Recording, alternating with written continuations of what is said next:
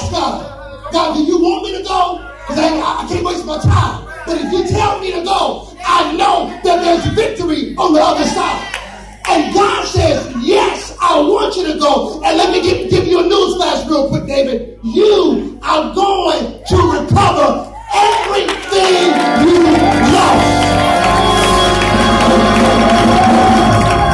Go, go, here we go, Brianna. Gone. Gonna read the text, gonna read the text.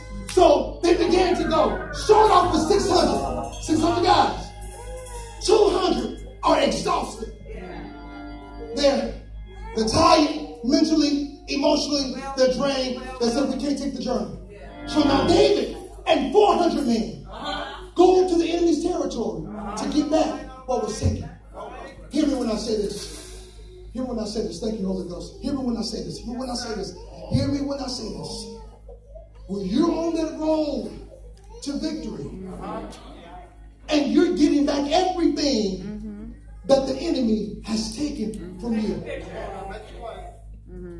You have to let go of dead weight.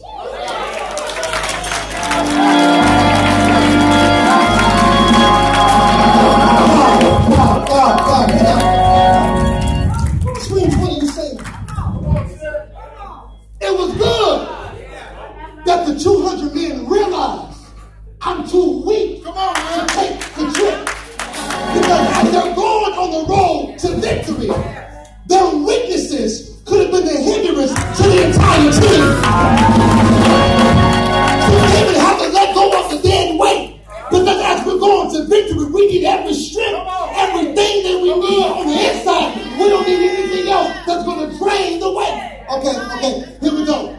Here's the sovereign hand of God once again. So they're on the road. Gotta read the story. Gotta read the story. They're on the road, and there's an Egyptian that has been that has been isolated from the Amalekites. David asked him. He said, "Do you know where they at?" "My friend, yes I do." He said, "But you gotta make a vow to me that you're not gonna turn on me, and then you ain't gonna take my life." They was okay. So this Egyptian, who all of a sudden been isolated by the Amalekites, is lying there helpless on the road. Here's what God will do. God won't give you every step. God won't give you every instructions as you're on the road. But what he will do is he will have some things on the side. He, he, he will have some things that as you're going down the road to victory, he will have some things to give you some encouragement and let you know to keep going. So this guy is lying. Thank you, God. Know where they are. They go.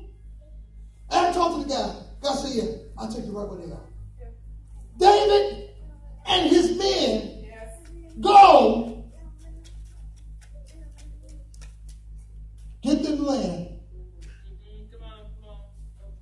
Get to where the Amalekites are. And then they get back everything Thank you, Lord. that they had lost. Look at verse 17. I gotta read this. I gotta read this.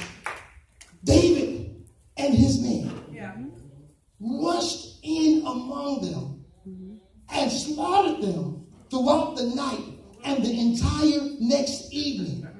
None of the Amalekites escaped except for 400 young men who fled on camels. David got back everything the Amalekites had taken and he rescued his two wives. Verse 19. Yes. Nothing was missing. Yes. Small or great. Yes. Son or daughter. Yes. Nor anything else that had been taken. Yes. David brought back everything. Yes. He also recovered all the flocks yes. and the herd. Yes. And his men drove them ahead of the other livestock. This plunder belongs to David, they said.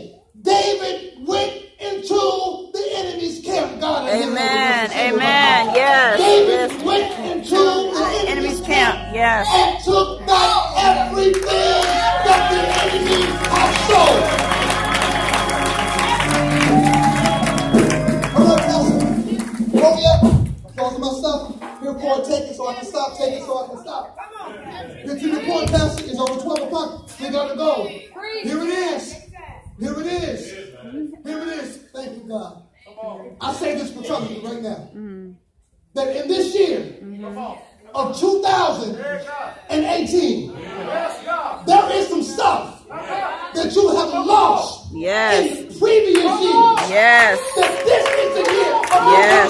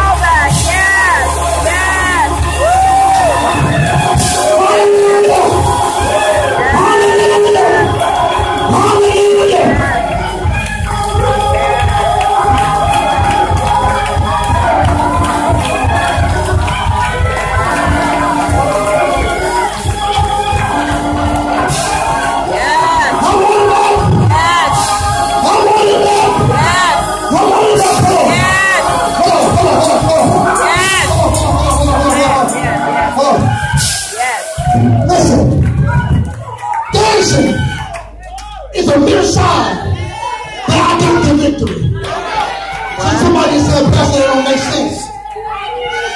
How can I dance for something that I didn't even receive yet? Yes. Somebody say, how can I dance for something that I can't even see yet? Yes. I'm dancing by faith. Yes.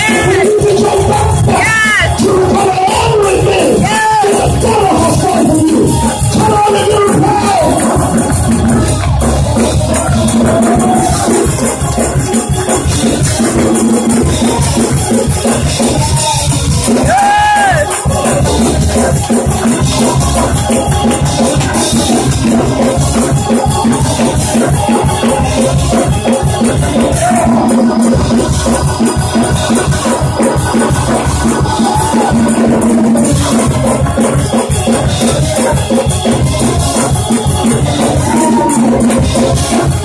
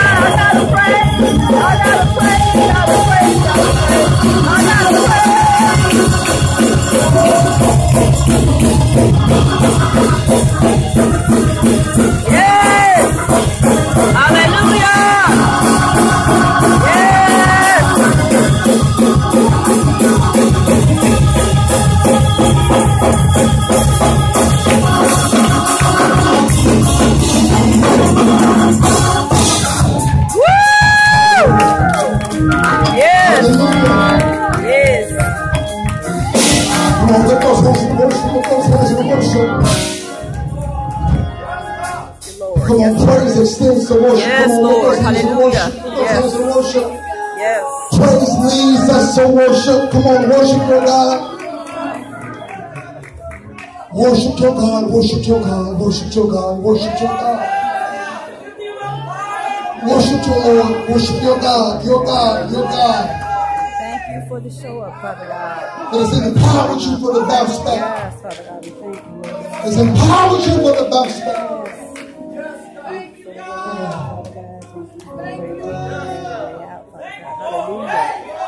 You're reclaiming your hope.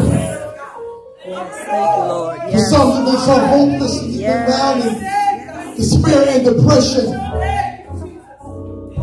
But get your hope back. Be Yes. intentional going to get your hope back. Listen, there's some here, there's some here. We gotta go way over time. We gotta go.